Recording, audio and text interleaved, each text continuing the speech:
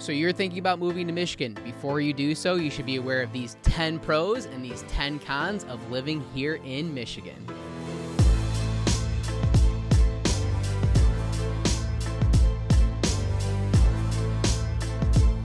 Hey there, future home buyers. Welcome back to our channel. You're thinking about moving to Michigan, which is fantastic. In this video, we want to give you a rundown of 10 pros and 10 cons of living here in Michigan. My name is Matt Talbot. My team and I help people just like you every single day move here to Michigan, and we absolutely live for it. We get calls, texts, and emails of people that want to move in the next three to 12 months here in Michigan, and we absolutely love responding to those people and going ahead and helping helping them out on their home search. If you're curious on moving to the area, if you just want some more information, or if you're thinking about moving here to Michigan, send us a DM or hop on YouTube on our main page. There's a Calendly link, and you can set up intro consultation with me or someone on my team today. We love those conversations. It's so awesome getting calls from people actually all over the world at this point that are moving here to Detroit, Metro Detroit, and Southeast Michigan, and it's super great to be a part of that journey for you guys. So, coming in at number one on our list of the pros is Michigan's natural beauty. One of the best parts of Michigan, one of the most beautiful things in Michigan is the natural beauty that we have. So, Southeast Michigan's great, Detroit's awesome, Metro Detroit's great for a lot of different reasons. And as you expand west, east, north,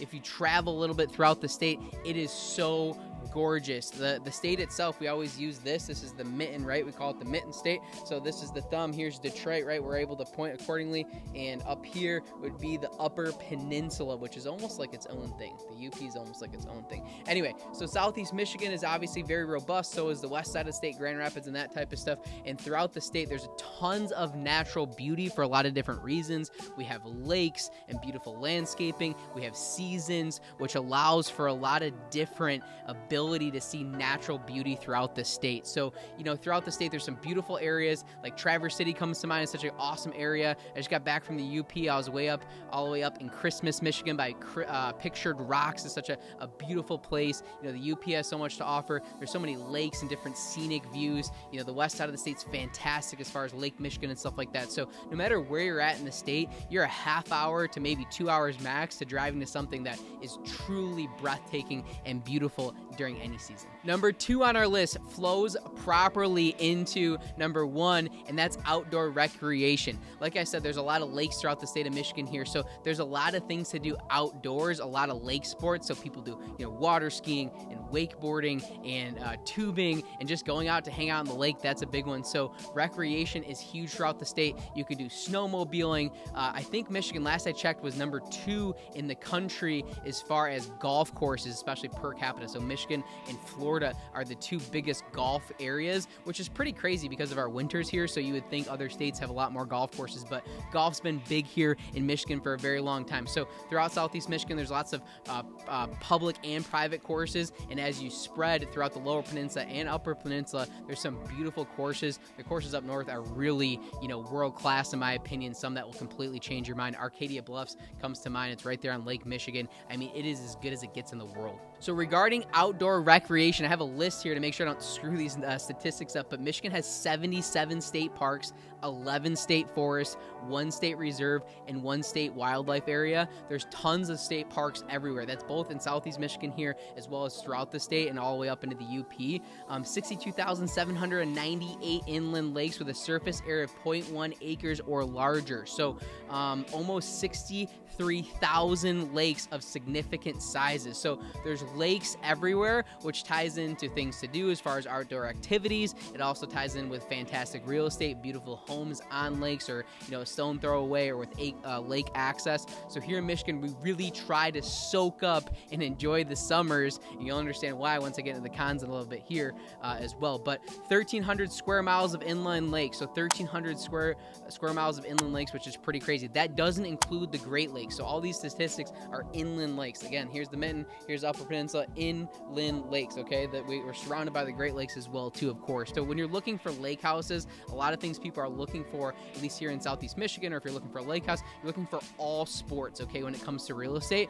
What all sports means, you're able to have motor sports, you're uh, motor boats, you're able to have um, jet skis and fast uh, fast boats where you can, you know, do your, your, your water skiing and your wakeboarding and tubing and all that great stuff. So lots of inland lakes, lots of big lakes. It's a huge benefit as far as outdoor activities here in Michigan. Number three on our list of pros of living here in Michigan is a direct correlation from the outdoor activities, and that's our Great Lake lifestyle. Okay, so here in Michigan, we have the Great Lakes. We're surrounded by Great Lakes. There's more fresh water here than anywhere else in the country, right? So it's a beautiful place to live for that reason. And anywhere you go, pretty much anywhere you live in the state, like I said, you're only really, you know, a matter of minutes or maybe a couple hours to get to a Great Lake as well, too, which leads to a lot of other activities. That's where you get, you know, your sand, beachy sand uh, uh, hangouts, you know, flying kites and going to the going to the beach and hang out. A lot of people like to have homes or condos, you know, whether it's their primary or secondary residence close to the Great Lakes. It's as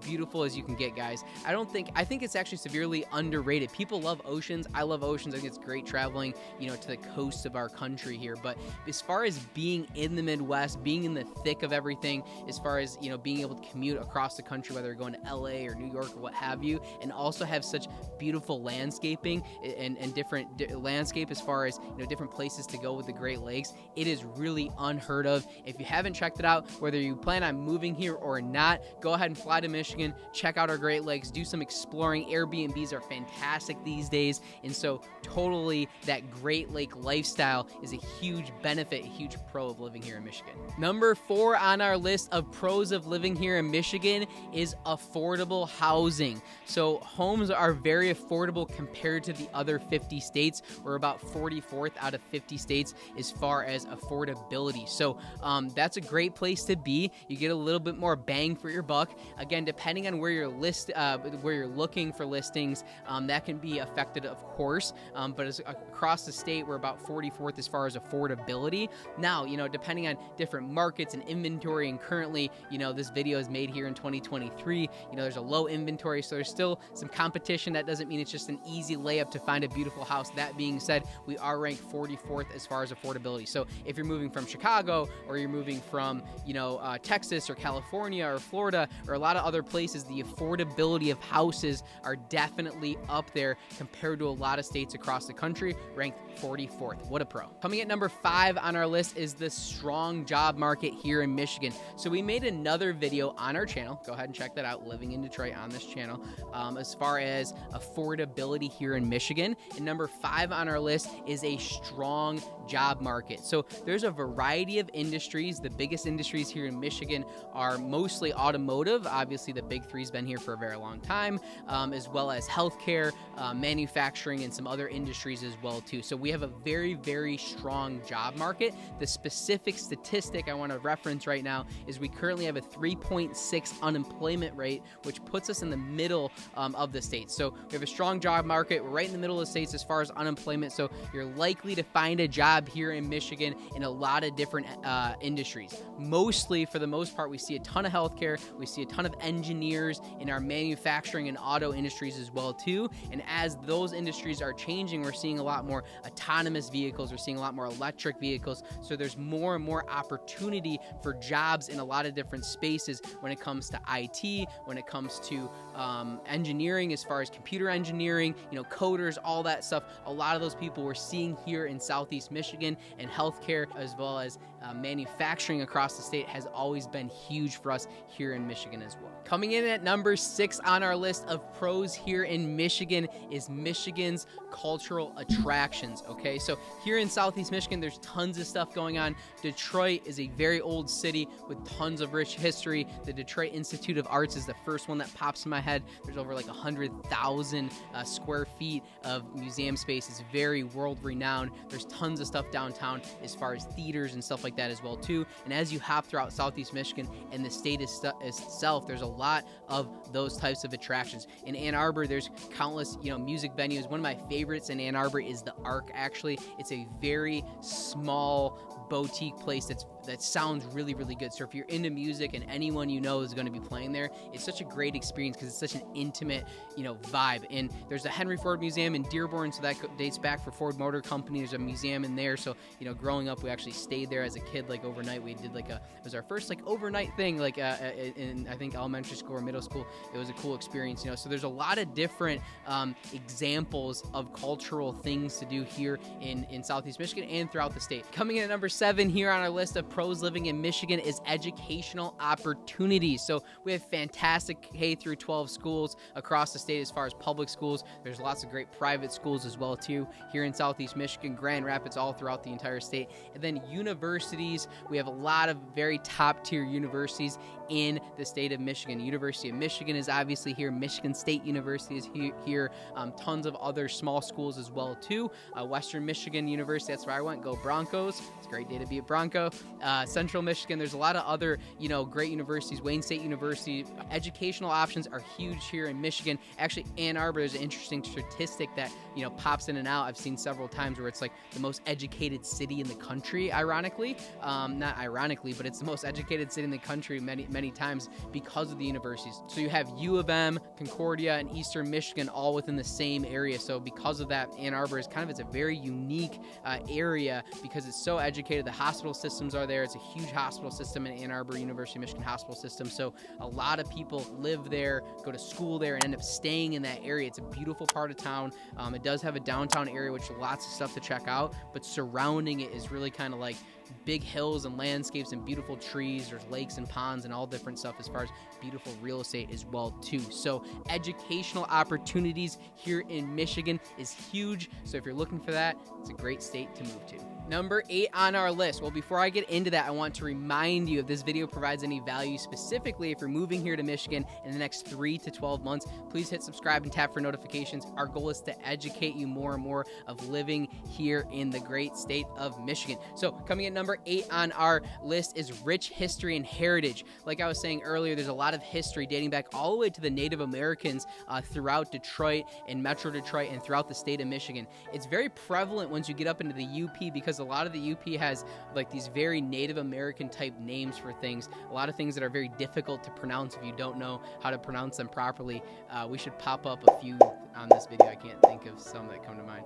Mackinac as an example. Okay, that's the first one that comes to mind. So Mackinac Bridge takes you from the lower peninsula to the upper peninsula. There's also Mackinac Island. If you read how it's spelled, I think it would, it would be like pronounced like Mackinac is like how it, how it would be read properly, but it's Mackinac Island. So there's lots of these like Native American history things throughout the state and some different language that was used between the French settlers and the Native Americans throughout history as well too. As I mentioned, the auto industry was huge for us. So Detroit and Southeast Michigan here has lots and lots of history from Henry Ford. Um, when the Model T came out and the assembly line was first created through Henry Ford, this was the place to be. People, this was the, the place people wanted to move to. Everyone wanted to be in Detroit. It was where it was happening. This is where you came to make money. And so that was back, you know, in the early 1900s and stuff like that too. So really the last 100, 150 years, there's tons of history here in Southeast Michigan. But if you go back further between the French settlers and the Native Americans and all the different history here, there's a lot to learn. So very rich history here in Michigan. Coming in at number nine on our list here in Michigan of pros of living here in the state of Michigan is our vibrant food scene. I think if I was ranking these myself, this might even be number one for me. Um, we truly have great food here in Michigan, which I think it's like severely underrated. I've traveled across the country, I've been a lot of places. Yes, of course, if you go to New York City, you can get a great slice of pizza, and you know, there's there's definitely good food in other parts of the country. That being said, I think we're severely underrated. If you're into a lot of different types of food, Michigan is severely underrated. Downtown Detroit, um, in the last really 15, 20 years, there's a lot of new restaurants going in that are really world class restaurants. A lot of people that have worked at Michelin star restaurants are coming to Detroit and they're making this very cool vibe in the city, I would say. So, what I mean by that is almost like a uh, almost like a, a, hipster new age um, way of, of doing restaurants. Some of the, some of them are in great areas, some of them are in up and coming areas, some of them are different parts of town you wouldn't expect there to be such a fantastic, you know, restaurant. But downtown Detroit, some real, real staples there. Um, Selden Standard is one of the first that come to mind. Uh, Katoi is another uh, restaurant that's been in Detroit for a long time in Corktown, um, at least for the last few years. As far as that newer type type of spin, uh, I think they call it the mothership if you're in the restaurant industry. So shout out to those people watching this video. If you're in the Detroit food scene and you work in the restaurant industry, run a restaurant, I absolutely love you because that's literally what I live for. Oak and is a new one that pops in my head, comes to mind. La Feria. I mean, I can go through Detroit for days, but um, as far as you know, restaurants themselves throughout the state, there's a lot of different opportunities here in Southeast Michigan and throughout the state to eat really, really, really good. Um, Dearborn is actually uh, one of the biggest, if not the biggest, Arabic population outside of the Middle East in the entire country. Um, so because of that, there's a diverse group of foods there as well too, as far as Middle Eastern food. You know, lots of Lebanese food and Yemen food, and a lot of different great varieties here. Uh, the Indian cuisine is fantastic throughout the state as well too. So um, I believe Michigan has one of the top tier foods I've tried everywhere I go. I eat out; it's like my thing, and I believe we compete with the best of them here in Michigan. Coming in number 10 on our list, last but not least, it's number 10 on our list, but I don't know if it's number 10 overall. There's no particular order here, I would say, but community spirit. Uh, Michiganderians, Michigandi, hard to say that. Say that seven times fast. Have fantastic spirit here in Michigan. Uh, there's a variety of different reasons. Michigan is known for a lot of really old small towns throughout the state that people are very passionate and proud of. They've been from those areas for a long time. There's a lot of farm towns as well too. I already mentioned Ann Arbor and how educated it is and how the universities are there and the healthcare system there. And Detroit is just one of those cities where if you're from Detroit, uh, Detroit, it's a big small town. Okay, everyone kind of knows each other and people are are very, very proud to be from Detroit and be and to be from Michigan. So um, actually, there's a brand that kind of popped a few year, years ago, Detroit versus everyone. Then it kind of blew up, and they've made versus everyone as their uh, as their go-to. But Detroit versus everyone, you should, it just shows that there's proud people here. Uh, the Detroit Lions are supposed to be good this year for the first time in a very, very long time.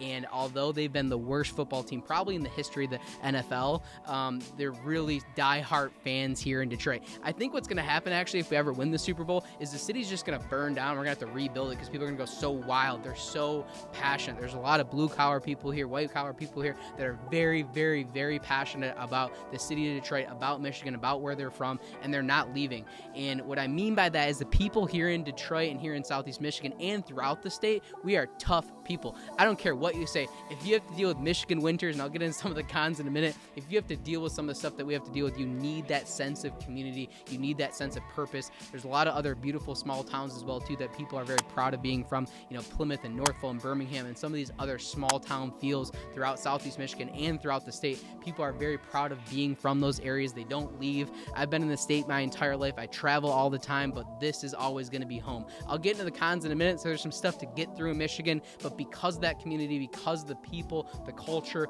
all the things I mentioned on this list, it's a beautiful place to be and it's a wonderful place to live. So, guys, that was 10 pros of living here in Michigan.